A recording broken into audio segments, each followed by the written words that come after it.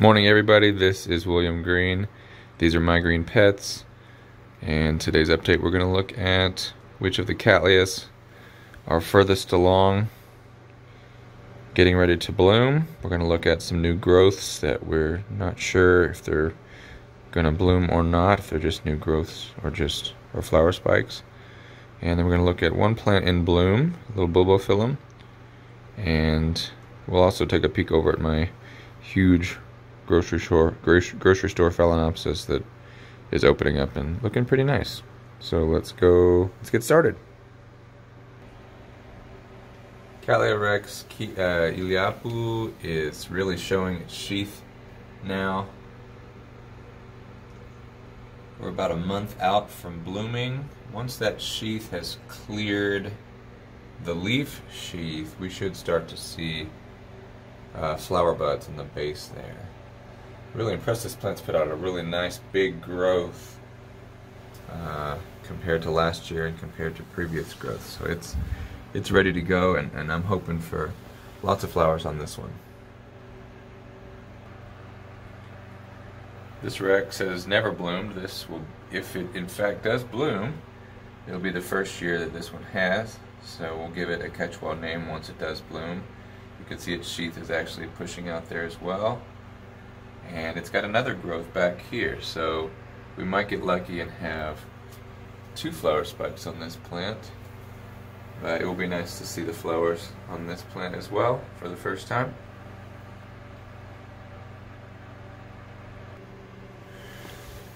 And this Cattleya Rex, this is Mayu. Mayu got an HCC from the American Orchid Society last year. Mayu has gone ahead and popped open the first of three growths. And I believe there's a sheath in there, but you can't see it very clearly yet. So I would expect those other two growths to pop open pretty soon as well. It would be really nice if this plant decides to bloom three at once. That would be wonderful. Other than those three plants, there are several with large maturing growths right now. And it's just going to be a toss-up which ones are going to bloom. Really nice big growths on this one, and then a third one coming up down here. This plant has got a nice little growth pushing. And then it's got one over here that kind of came up kind of funky, so it's kind of pushing hard to get out there.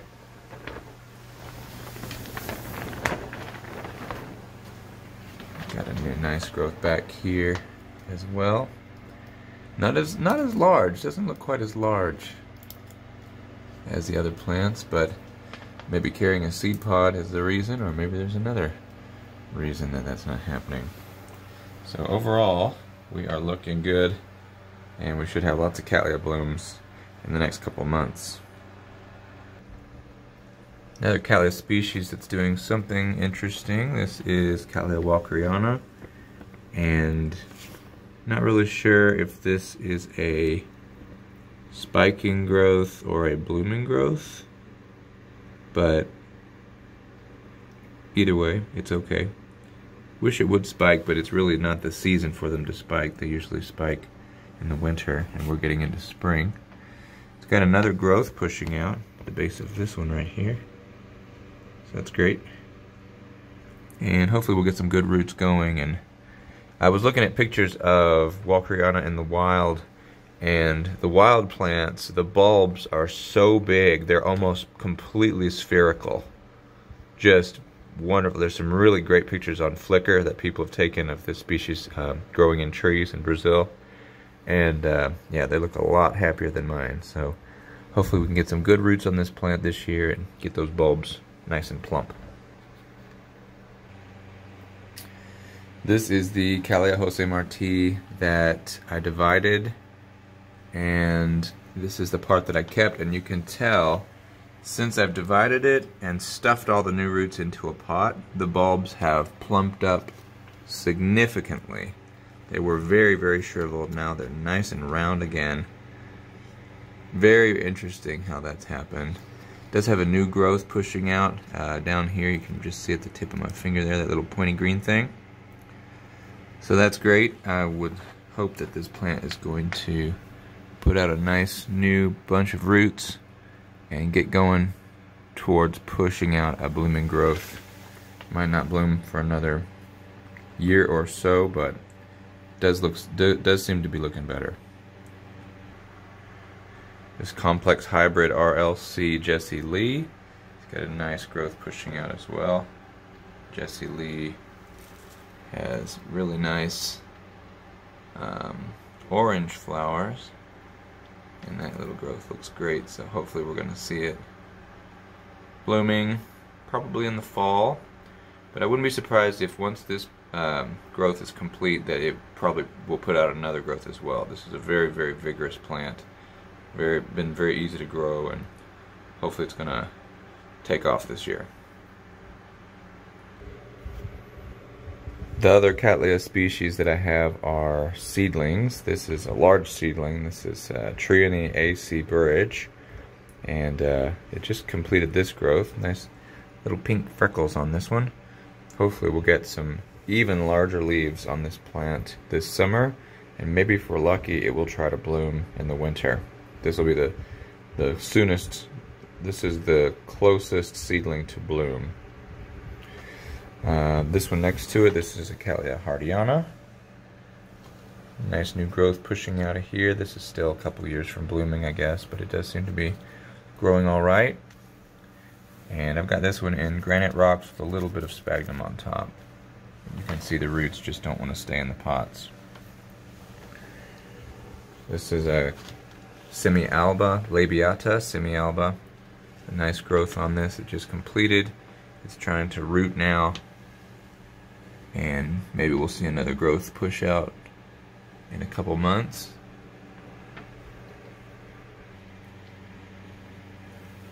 This is a Cattleya.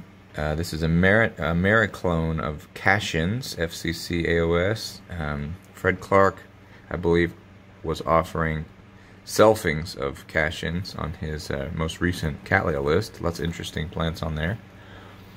Uh, a couple more labiatas. Nice coloration on these guys. And then a mossii as well. Pushing out a nice new growth there. Very exciting. Right behind it we've got gaskelliana. Pushing out a new growth. This one kind of had a rough time last year, but it seems to be getting rooted pretty well and recovering, and hopefully we'll get some decent growth on it this year. Maybe this and a, maybe another growth as well would be nice. Seedlings are definitely the name of the game in my grow tent. This Dowiana rosita is a selfing of Rogue Orchids. Wonderful clone. And hopefully these will be as great as their parent plant. Got some more Dowianas. Dowiana aurea. We've got a Rex back here. Got a couple more Rexes. And then all of these are Rexes as well. This is a variety pack of different varieties of Rexes from Peruflora. Got Blossfeldiana going out here. And then some more little Rexes just trying to get bigger. Roots are looking good. They're starting to crawl out of their pots. And then one last group back here. Also putting out some larger leaves. Kind of jockeying for position there. Hopefully they're getting enough light and food for all of them. They should be okay. Then I'll separate them when they get bigger.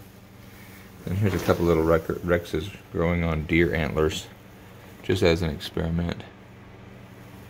Seem to be doing all right on there too. Uh, bulbophyllums. I've got a few bulbophyllums. This is my largest. This is Hal, Bulbophyllum echinolabium. Hal does have a new growth in the back there. You can't really see it, but uh, it's pushing. And his bulbs are very, very shriveled.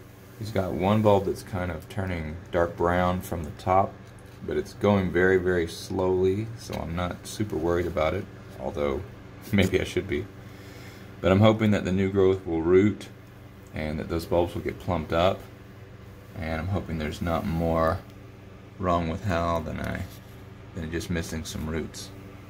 So hopefully Hal will be doing better soon. Another bulbophyllum. I've got two bulbos in this little basket. The one with the yellowing leaves, this is Bulbophyllum croceum, and this bloomed back in January. And uh, it it just drops its leaves every once in a while. I'm not quite sure. Maybe I let it get too dry or don't know. But then next to it there is a Bulbophyllum catenulatum in here as well. Back in this area.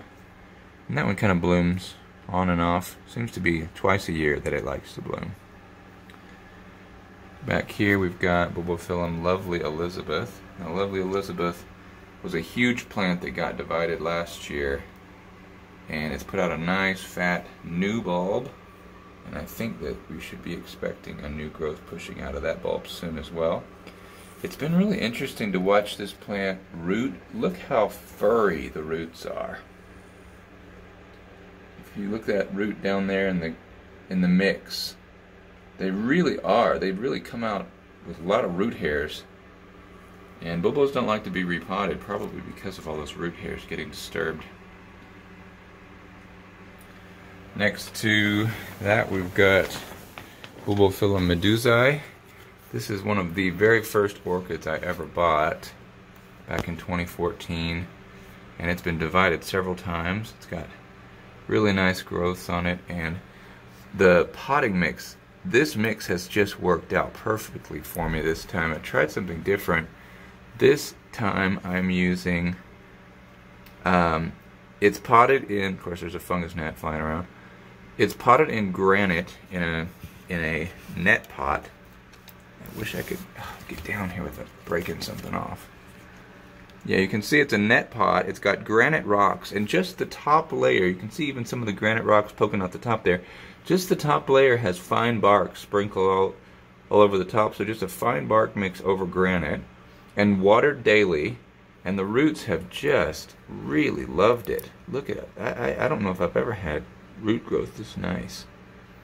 They seem really happy with that. So that's great. The newest growths look good. And we're getting some more growth coming. And then next to that we've got Bulbophyllum lepidum. And lepidum's in a tall plastic flask. And I just kind of potted it in there because I wanted to keep it from crawling.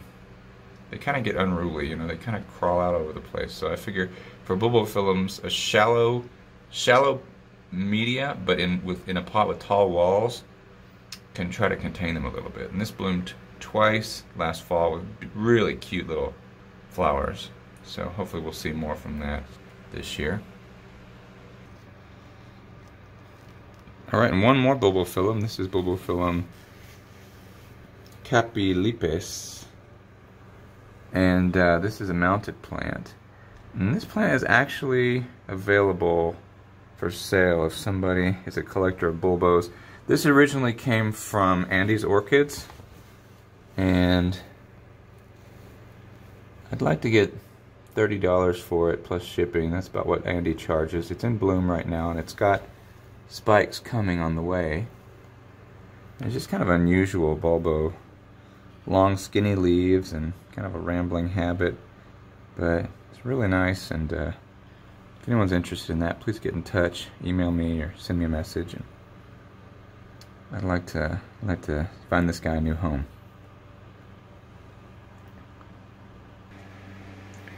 Now the catasetums are all in one place. They're all in this area now.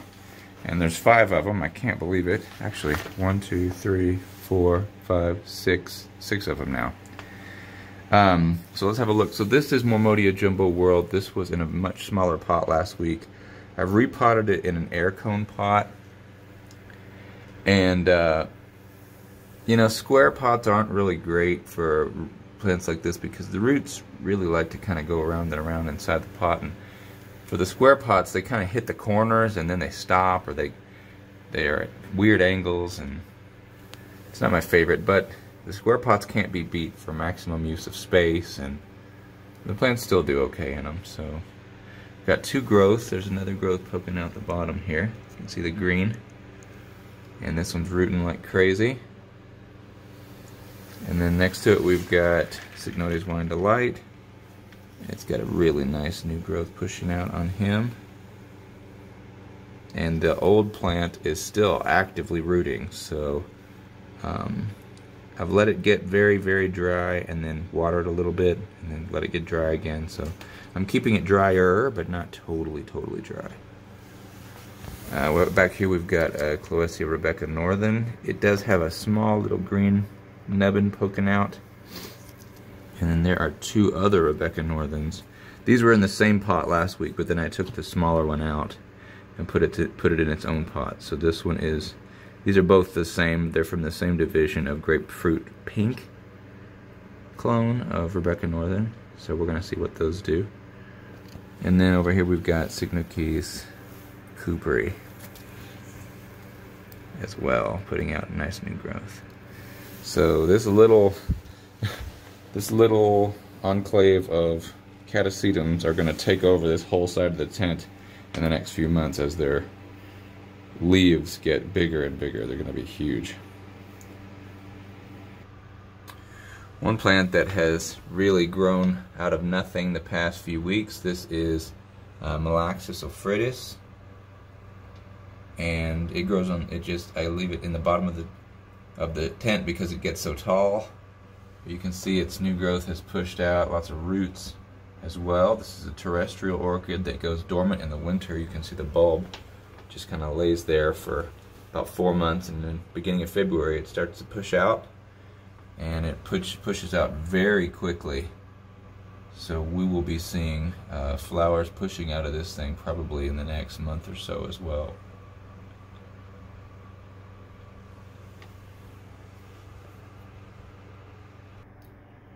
Also want to show you my grocery store Phalaenopsis here. I call it affectionately Phalaenopsaurus because it's enormous and you know these things just keep growing. But it's got, I have six nice flowers on it. And of course I can't get in front of it. Here we go. a nice one. A little bit better view. pretty. All right, so let's talk about uh, one last thing, and that's this Cattleya rex. This is Keelia.